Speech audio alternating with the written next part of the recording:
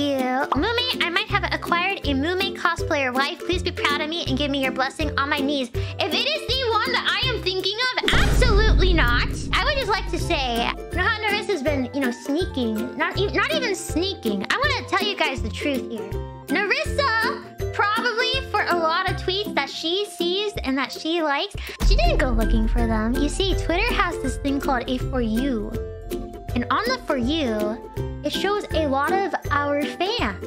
And for me, for a few days, it was showing me a bunch of Narissa's fans, that I would send her their tweets, being like, "Look, they didn't tag you, but it came up on my on mine, so you can go like this." However, it means against my will, I see the degenerate things that you guys say on Twitter that you can. You think you're safe because you don't tag me? Unfortunately, I have to see what you say and what you tweet, what you draw on Be careful. so Dolocine, you do not have my blessing. no.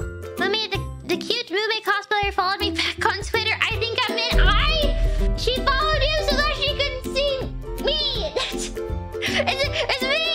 It's me. It's, it's me. You're not in. It's, it's, it's me. It's